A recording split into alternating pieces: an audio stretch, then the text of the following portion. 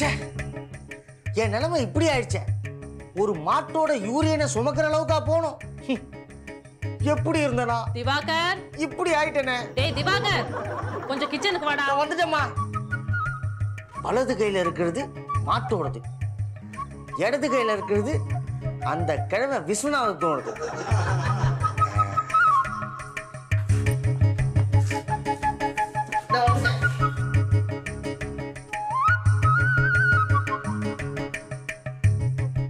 Urine sample தான் எடுக்க சொல்லியிருந்தேன் அவனை. ரெண்டு இருக்கு. ஏதாவது விழாக்கால சலுகையா? ஒன்று வாங்கினா ஒன்று ஃப்ரீன்னு நான் எதுக்காக இங்கே வந்தேன்? மறந்து போச்சே. அங்கேருந்தா வந்தேன். அங்கேயே போனால் எதுக்காக வந்தேன் ஞாபகம் வரும். சேச்சே வர வர இந்த டாக்டர் அம்மாவோட பெரிய ரோதனையாக போச்சு. ட்ரீட்மெண்ட்டில் தான் சந்தேகம் கேட்பாங்கன்னா வர வர சமையலையுமா கேட்பாங்க. நிஜாரா போச்சுப்பா.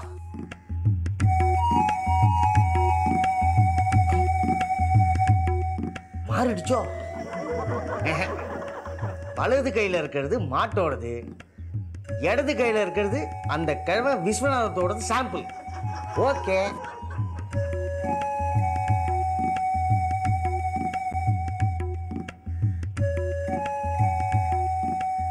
ஓய் பிராணா எதுக்கு பிராந்த மாதிரி சுத்துறேன்? நான் ஒன்றும் பிராந்த மாதிரி சுத்தலை. நீ தான் பிராந்த மாதிரி கத்துறாய். ஏய் எவ்வளோ டென்ஷனாக இருக்கு தெரியுமா? எதுக்காகும் டென்ஷன் ஏய் என்னோட டெஸ்ட் ரிசல்ட் இன்னும் கொஞ்ச நேரத்தில் வரப்போகிறது அதாக்கும் டென்ஷன் ஆமா பெரிய ஐஏஎஸ் பரீட்சை எழுதியிருக்கேன் ரிசல்ட் வரப்போறது யூரின் டெஸ்டினுடைய ரிசல்ட் தானே வரப்போறது அதுக்கு என்னவா என் லைஃப்லயே ஃபர்ஸ்ட் டைம் யூரின் டெஸ்ட் கொடுத்துருக்கேன். அதாக்கும் டென்ஷன் போதும் வளர்த்தினது. வந்து உட்காருங்கோ.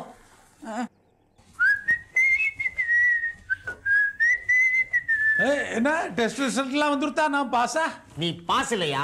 சரியான ரவுஸ் ஏய் என்ன வாக்கம் சொல்கிறாய் பின்னனையா தம்மா தூண்டு யூரியன் டெஸ்ட் அதுக்கு போய் இவ்வளவு டென்ஷன் ஆனா என்ன அர்த்தம்? சொல்லுப்பா நன்னா சொல்லு. எல்லாத்துக்கும் டென்ஷன் ஆறார். அது கிடக்கட்டும். டாக்டர் எப்போ வருவார்? அவர் எப்ப வேணாலும் வருவாரு வராமலும் இருப்பார். ஓ இது என்ன வானிலை அறிக்கை மாதிரி இருக்கு? சோ டாக்டர் வந்தா எனக்கு ஒரு குரல் கொடுங்க.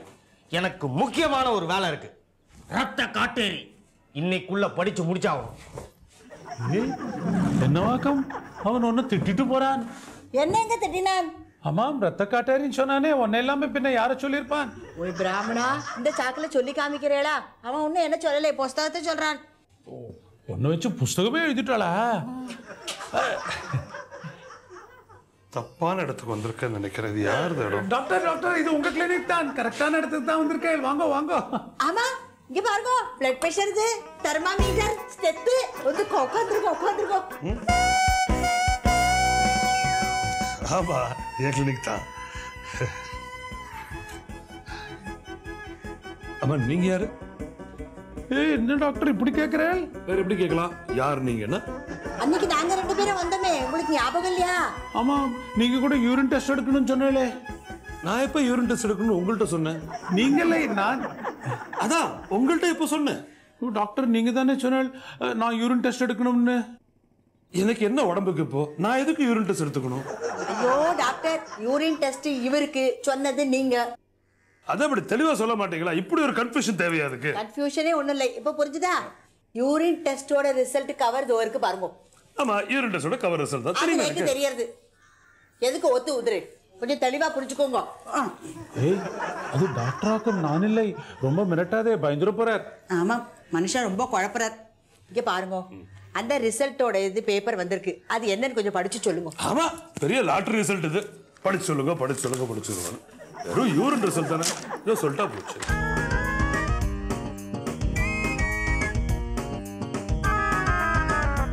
உங்க பேர் என்ன? அதான் அந்த ரிப்போர்ட்ல போட்டிருக்குமே. பரவாயில்ல. இருந்தாலும் சொல்லுங்க. என் பேரு பாலக்காட்டு காஷி விஸ்வநாதன். எங்க அம்மை செல்லம்மா என்ன விச்சுன்னு கூப்பிடுவா. எங்க அப்பா ஆசியா கடங்காரா பட்டி மாடுன்னு கூப்பிடுவார் உங்க அப்பா ஒரு தீர்க்கதரிசி. கரெக்டா தான் கூப்பிட்டுருக்காரு. மாடுன்னு. ஏய் என்ன சொல்ற? என்ன சொல்றதும் தெரியல எப்படி சொல்றதும் தெரியல ஆனா சொல்லாமையும் இருக்க முடியல. இங்க பாருங்க. சுத்தி வளைச்சு பேசாம பட்டுன்னு விஷயத்துக்கு வாங்கோ. இவர் எப்பயாவது வித்தியாசமா நடந்துப்பாரா? எப்பவும் வித்தியாசமா நடந்துப்பார். எப்பாவது தான் சாதாரணமா நடந்துப்பார். டாக்டர் எதுக்காக்கும் கேட்கிறேன் இவருக்கு என்ன ஆயிடுது? சொல்றேன். ஆனா அதுக்கு முன்னாடி உங்க மனசை கொஞ்சம் திடப்படுத்திக்கங்க. டாக்டர் இவருக்கு என்னாச்சு? டிபியா கேன்சரா இல்ல கொஞ்சம் சும்மா. கொஞ்சம் விட்டா. இந்த டிவி சீரியல்ல வரா மாதிரி நான் உயிரோடு இருக்கும்போதே போட்டோ போட்டு மாலையே மாட்டுவாள் போல் இருக்கே ஐயோ கொஞ்சம் பேசாம இருக்கீங்களா? நான் எவ்வளவு சீரியஸான விஷயம் பேசிட்டு இருக்கீங்க நான் என்ன பேசிட்டு இருந்தேன்? இவர் உடம்ப பத்தி தான் சொல்லிட்டு இருந்தேன். ஆ ரைட் ரைட் அது சொல்றதுக்கு முன்னாடி உங்க மனசை கொஞ்சம் திடப்படுத்திக்கங்க. ஐயோ டாக்டர் அதை தான் நீங்க ஏற்கனவே சொல்லிட்டேலே. உங்க உடம்பு பத்தி ஏற்கனவே சொல்லிட்டேனா? இல்லை மனசை திடப்படுத்திக்கோன்னு ஏற்கனவே சொல்லிட்டேலே. அது சொல்லிட்டேனா? அப்ப அதை அழிச்சிருங்க. இப்ப வேற என்ன சொல்லணும்னா? ஓ அவருக்கு என்ன உடம்பு? அத முதல்ல சொல்லுங்க. ஆ, right, ஆ, ஆ, ஆ. இவருக்கு? இவருக்கு. இவருக்கு. இவருக்கு. இவருக்கு. டாக்டர் எனக்கு ரொம்ப பயமா இருக்கு. கொஞ்சம் விவரமா சொல்லுங்களேன். நீங்களும் பயந்துட்டா அப்புறம் நானும் பயந்துருவேன். ரெண்டு பேரும் பயந்தா அப்புறம் சாரும் பயந்துருவாரு. ஏய், நீங்க டென்ஷன் அதிகமாயிட்டே இருக்கு. டாக்டர் எனக்கு என்னன்னு சொல்ல போறீங்களா இல்லையா? சொல்றேன் சொல்றேன். உங்க அப்பா ஒரு ஞானி. அதனாலதான் அப்பவே உங்களை மாடுன்னு சொல்லியிருக்காரு. டாக்டர் மாட்டுக்கு வர வேண்டிய கோமாரி நோய் உங்களுக்கு இப்ப வந்திருக்கு. என்னது? கோமாரியா? ஆமா. நான் நல்லா செக் பண்ணிட்டேன். எல்லாம் நார்மலா இருக்கு. என் லட்சுமிக்கு என்னதாங்க உடம்பு? லக்ஷ்மியா? யார் அது என் மாட்டு தாங்க ஓ மாட்டோட பேரு லக்ஷ்மியா? என் பொஞ்சாதி பேரும் லட்சுமி தான் நான் செல்லம்மா எச்சிமி எச்சிமின்னு கூப்பிடுவேன். மாட்டையா பொண்டாட்டியா? நாங்க கிண்டல் தானே வேணாங்குது மாட்டை தாங்க. பொஞ்சாதியை போய் யாருன்னா செல்லம்மா இப்படி கூப்பிடுவாங்களா? வேற எப்படி கூப்பிடுவாங்க. கைத கசமாலாம். மிஸ்டர் கோபால் நீங்க ரொம்ப ஓவரா பேசுறீங்க. அட உங்களை இல்லைம்மா. என் பொஞ்சாதிய ஓஹோ. இதுதான் செல்லமா அப்ப கோவம் வந்ததுன்னா? ஏய் கைத கசமாலாம். என்கிட்டயே நீ ராங் காட்டுறியா? நான் யார் தெரியுமா? உன் புருஷன்டி. என்கிட்ட ஏதாவது வால் ஆட்டின மூட்டை பூசிய நசுக்கிற மாதிரி நசுக்கிடுவேன். அப்பா நான் தப்பிச்சேன். என் ஜூஜு இப்படி இல்ல. ஜூஜு ஐ லவ் யூடா கண்ணா. என்ன சொன்னீங்க? லவ் ஷாட் உங்களை சொல்லல. என் ஜூஜுவை சொன்னேன். அது யாருங்க? ஜூஜு இதெல்லாம் உங்களுக்கு தேவையில்லாத விஷயம். நீங்க லக்ஷ்மியை பத்தி மட்டும் கேளுங்க. என் பொஞ்சாதி பற்றி உங்ககிட்ட என்னங்க கேட்கணும் ஐயோ உங்க பொண்டாட்டிய சொல்லல. உங்க மாட்டை சொன்னேன். என் மாட்டுக்கு என்னதாங்க நோவு? அஜீரனம் கண்டபடி ஊர் மேய விட்டு கண்டதையும் தின்ன வைக்காதீங்க. வீட்லயே வயிறு நிறைய வக்கியோலும் புண்ணாக்கும் போடுங்க. வைக்கலும் புண்டாக்குமா நீங்க வேற. அப்பளமும் ஊர்காயோட ஃபுல் மீல்ஸ் வச்சாதான் என் எச்சிமி வாயே திறப்பா.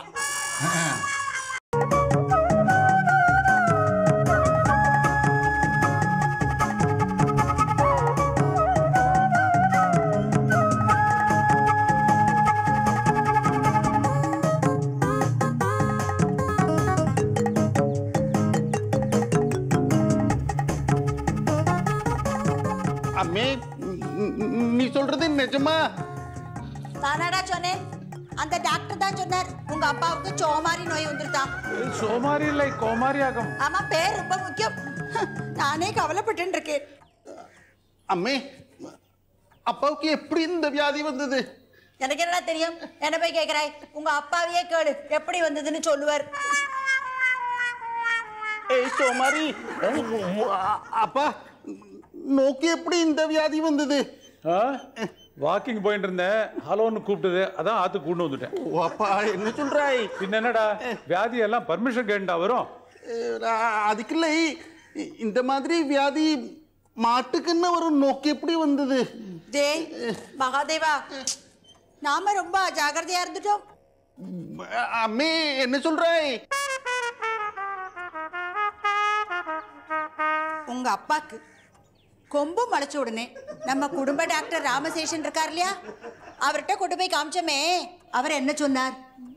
என்ன சொன்னார்? என்ன சொன்னார்? அம்மே ஞாபகம் இல்லை என்ன சொன்னார் சொல்லு. ஞாபகம் இல்லையா? மிருகத்திலேருந்து வந்தவாதான் மனுஷா? அதே மாதிரி லட்சத்திலேயோ கோடியிலையோ யாரோ ஒருத்தர் மனுஷால இருந்து மிருகமா மாற சான்ஸ் உண்டுன்னு சொன்னாரா இல்லையா? ஆ- ஆமா ஆமா. அதுக்கு என்ன இப்போ? அதுக்கு என்னப்பா? அந்த டாக்டர் சொன்ன லட்சத்திலேயோ கோடியிலையோ ஒருத்தர் வேற யாரும் இல்லடா. சாட்சாத் உங்க அப்பாவே தான். அப்படியே மாடு மாதிரி மாறிண்டே வரார். முதல்ல ரெண்டு கொம்பு பொழைச்சுதா இப்ப சோமாரி நோய் வேற வந்துருது. சோமாரி இல்லை கோமாரி. செத்த சும்மா இருங்க. என்ன சும்மா இருங்கோ? கொஞ்சம் விட்டா மாட்டு தொழுவத்திலே போய் கட்டிடுவாள் போல இருக்கே. எனக்கு வர ஆத்திரத்துல உங்களெல்லாம் ஒரு முட்டு முடியலாம் போல இருக்கும் ஏ மகாதேவா என்ன வார்த்தை சொன்னாருன்னு கவனிச்சியா? வர வர மாடே ஆயிட்டு இருக்கார் டேய் ஜாகிரதா நீ ரெண்டு அடி தள்ளி நின்னுக்கோ. என்ன கொம்பால முட்டி வயித்த கிழிச்சிட போறார். இந்தாங்க இந்தாங்க எல்லாருக்கும் காஃபி. இன்றே என்னது இன்னைக்கு அதிசயமா இருக்கு? நீ காஃபி போட்டுன்னு வந்திருக்காய். கரெக்டா சொன்னேன். சாதாரணமா ஒரு வாய் தண்ணி கொண்டானா கூட கொண்டுற மாட்டா.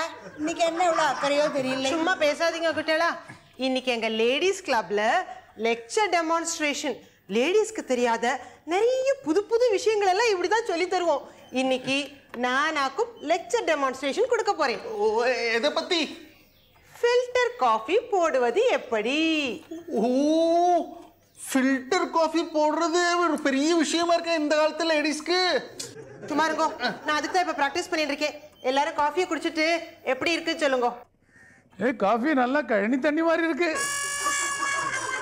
அப்பா என்ன சொல்றேன் ஏ நான் உண்மையை தான் சொல்றேன். நீ கத்து கொடுக்கறது இருக்கட்டும். நீ முதல்ல எங்கேயாவது போய் கத்துண்டு வா. ஏன்னா நீ டிஃபின் பண்ணா புண்ணாக்கு மாதிரி இருக்கு. காஃபி போட்டா கழனி தண்ணி மாதிரி இருக்கு. ஏ மகாதேவா உன் அப்பா என்ன சொன்னார் கேட்டியா? கழனி தண்ணியா? புண்ணாக்காம் சந்தேகமே இல்லை. சத்தியமா மாடேதான். என்னது? மாடா? என்ன சொல்றேன் ஆமா அப்பாவை டாக்டர் கிட்ட கூட்டின்னு போனாலே என்ன சொன்னார்? அதை ஏன் கேட்கிற சரி கேட்கலை அதில்லை கேளு. ஓஹோ நீங்க கேட்காதேன்னா கேட்காம இருக்கிறதுக்கும் கேளுன்னா கேட்கறதுக்கும் நான் என்ன நீங்க வச்ச வேலைக்காரியா? பத்தியா பத்தியா? இந்திரே நீ வேலைக்காரி இல்லை. இது விஷயமே வேற. அப்பா இனிமே நோக்கு மாமனார் இல்லை? உங்க அம்மை? அப்பாவை டைவர்ஸ் பண்ண போறாளா?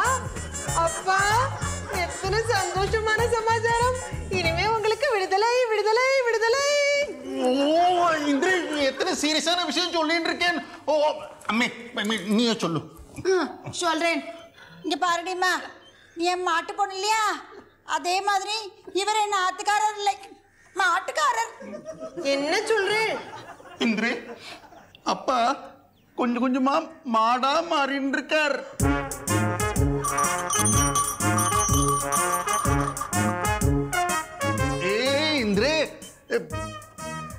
இன்னுமா நோக்கு சந்தேகம். எனக்கு சந்தேகமே இல்லை. இன்ஃபேக்ட் நேத்திக்கு தான் ஒரு புக்ல படிச்சேன். ஸ்காட்லாண்ட்ல ஒரு ஆளு குதிரை மேல பைத்தியமா இருந்தானா. இருபத்தி நாலு மணி நேரமும் குதிரை பத்தின சிந்தனை தானா. இப்படி குதிரை பத்தியே நினைச்சு நினைச்சு இப்ப அவனே குதிரை ஆயிட்டானாம் அப்படியா? ம். உங்க அப்பா அந்த கோபாலோட மாட்டுக்கு அடிக்கடி அகத்திக்கீரை கொடுத்து கொஞ்சம் போதே நினைச்சேன். இப்படி ஏதாவது விபரீதம் நடக்கும்னு நான் பயந்த மாதிரியே ஆயிடுத்து. இந்திரே இனிமே இவர் நோக்கும் மாமனார் இல்லை. உம்மா. மா.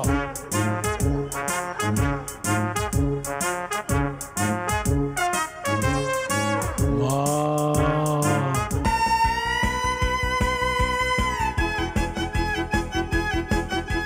துளசி இலை சாப்பிட்டா சைனஸுக்கு நல்லதுன்னு போட்டிருக்கான்.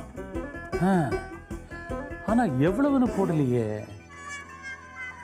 சரி துளசி தானே உடம்புக்கு நல்லது தான் கொஞ்சம் அதிகமாகவே சாப்பிட்ருவோம்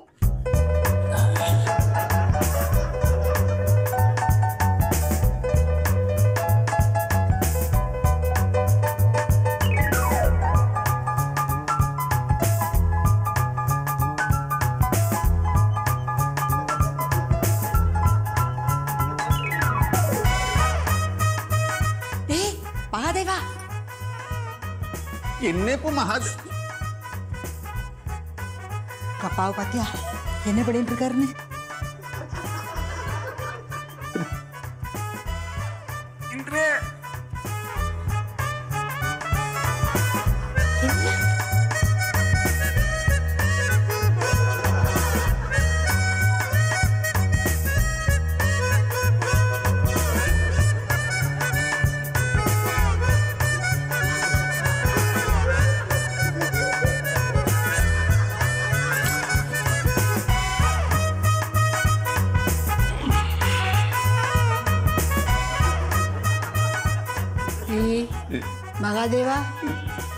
உங்க அப்பாவை பாத்தியா ஆசை போட ஆரம்பிச்சுட்டாரே அதானே என்னது சாதாரணமாக மிளகா பஜ்ஜிக்கு தான் ஆசைப்படுவார் இப்போ இது இலை தழை எல்லாம் சாப்பிட ஆரம்பிச்சிட்டார் இனிமே அப்பாவை எங்கேயும் தனியா வெளியில அனுப்பப்படாது கண்டிப்பா யாராவது துணைக்க போகணும் துணைக்கா மாட்டுக்கார கோபால தான் அனுப்பணும் எதுக்கு துணைக்கு போகணும் இல்லை இப்போ ஆத்துல இலை தழை எல்லாம் சாப்பிட ஆரம்பிச்சிட்டார். வெளியில போனா மாடு மாதிரி போஸ்டர் எல்லாம் சாப்பிட மாட்டாருன்னு என்ன நிச்சயம்? ஆமாம். கரெக்டு அம்மி சப்போஸ் அப்பா இந்த ராமராஜன் போஸ்டரை சாப்பிட்டா அது எப்படி அது? செண்பகமே செண்பகமே. நானே வருத்தப்பட்டு இருக்கேன். கிண்டலா பண்றேன் ஆமா. நேற்றுக்கு இந்த சோஃபாவில் உட்காந்து இருக்கும்போது பர்ஸை திறந்தப்போ ஒரு நாலனா காய் எங்கேயோ கீழே விழுந்ததே. அது எங்கே போயிருக்கும்? எதான் எங்கேயாவது இருக்கும்.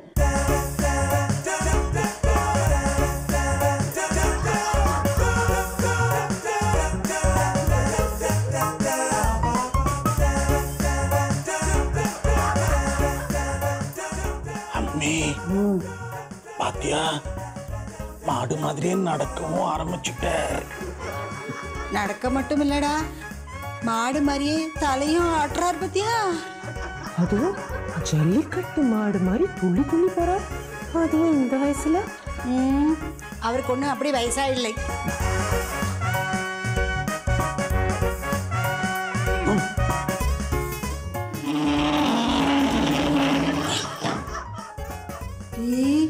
மகாதேவா. எதுக்குடா சோஃபா எல்லாம் போய் முட்டுற? அம்மி. நேக்கு புரிஞ்சொடுத்தோ. நம்ம சோஃபா கவர் என்ன கலர் போட்டிருக்கோம் பாத்தியா? சிகப்பு கலர். சிகப்பு கலர் ஆகாதே. அதான் முட்டி முட்டி மோதின்னு இருக்கார் ஐயோ அப்ப ஆத்துல யாருமே இனிமே சிகப்பு ட்ரெஸ் போட்டுக்க கூடாது. அப்பா பார்த்தா முட்டிடுவார். சிகப்பு கலர்ல ட்ரெஸ் மட்டும் இல்லை சிகப்பு பொட்டு கூட வச்சுக்க கூடாது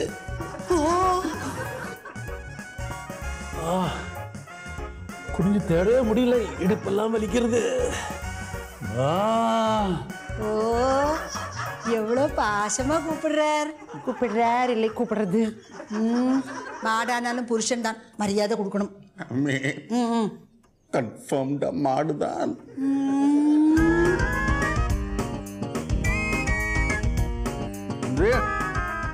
சாம்பார் சூப்பர் ஆயிட்டு இருக்கு. ஃபர்ஸ்ட் கிளாஸ் ஏ அது மட்டும் இல்லை இன்னைக்கு ஓலன் எவ்வளவு டேஸ்டா வந்திருக்கு தெரியுமா? ரசம். வாசனையை பாத்தியா ஆஹாஹாஹா அமிர்த ரசம். ஏய் பருப்பு சிலி கூட்டான் பாயசம் இன்னைக்கு எல்லாமே ரொம்ப நல்லா அமைஞ்சிருக்கு. இங்க பாருங்கண்ணா நீங்க சாப்பிடாதீங்க. நான் முதல்ல சாப்பிட்டுருவேனா? கொஞ்சம் ஆறட்டும். என்ன? அப்புறமா சாப்பிடுங்க. ஆ. இது கொஞ்சம் கூட நன்னால இல்லையா உங்களுக்கு எப்படி தெரியும்? நீங்க சாப்பிட்டு பார்த்தேளா இது நன்னா இருக்கு நன்னா இல்லைன்னு சொல்றல. அப்பா உங்களுக்கு தான் ஸ்பெஷல்லா மசாலா எல்லாம் போட்டு கழனி தண்ணி கலந்து வச்சிருக்கோமே. உறிஞ்சுக்குங்கோ. ஏய் அது இல்லை. என்ன? இல்லையா? மசாலா போட்டது நானாக்கும். சாப்பிட்டு பாருங்கோ. ஏய் அதை சொல்லலை. நீங்க மட்டும் பப்படம் பாயசம் ரசம் சாம்பார் எல்லாம் சாப்பிடுறால் நேக்கு மாத்திரம் கழனி தண்ணியா? ம். உங்களுக்கு இது கொடுத்ததே ஜாஸ்தி. நியாயமா புல்லு புண்ணாக்குன்னு தான் கொடுத்துருக்கணும். மனுஷனா இருக்கும்போது தான் நாக்கை அடக்கி வைக்காம உலகா பஜ்ஜி அது இதுன்னு கண்டதெல்லாம் தின்னு.